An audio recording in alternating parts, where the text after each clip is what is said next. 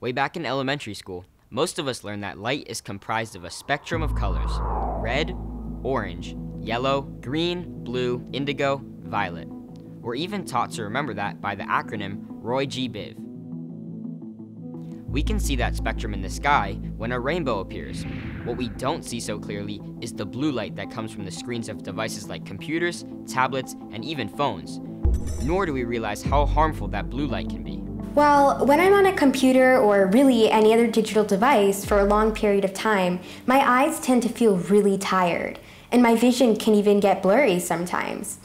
And the thing is, that tiredness and fatigue I feel in my eyes doesn't always just stay there. I mean, sometimes it can spread to my brain and affect how I think and how I act. And I mean, the whole thing just makes me feel really unproductive and tired. Lila was suffering from digital eye strain. That's eye strain caused in part by the blue light from her computer. And I'm just going to use the light first and take a look. Dr. Rani Banik is an ophthalmologist. That's a medical doctor who specializes in treating diseases and disorders of the eye. She's also Lila's mom. So, why is blue light harmful? So blue light is short wavelength, high energy light. So if you think about the whole rainbow, it's on one end of the spectrum. And these high energy wavelengths can actually get into the back of the eye. So they're not filtered out by the front of the eye. They can get into the back of the eye and potentially, because they are high energy, cause harm to our retinas. To be clear, we're talking about the blue light from digital screens. Most experts agree that the blue in sunlight is beneficial. It gives us energy, improves our memory and attention, and makes us happy. But blue light at night from devices like computers can cause eye strain. And it also affects our melatonin. That's a hormone our body produces at night to make us tired and signal it's time to sleep. So one of the best ways to avoid the harmful effects of blue light is to increase our natural blue blockers in our eyes.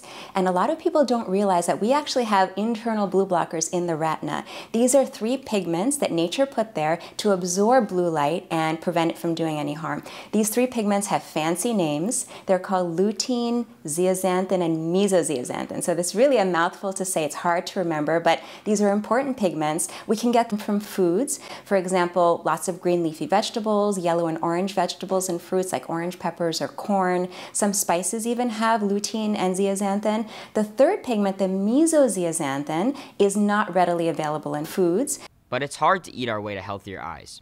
To boost our blue blockers, Dr. Banik recommends taking a daily supplement. There is an ingredient that has all three of those pigments I mentioned that's found in many, many supplements on the market. So if you look at the back of the bottle, look for Lutemax 2020, and that will automatically give you those three pigments in the right ratio we're supposed to have.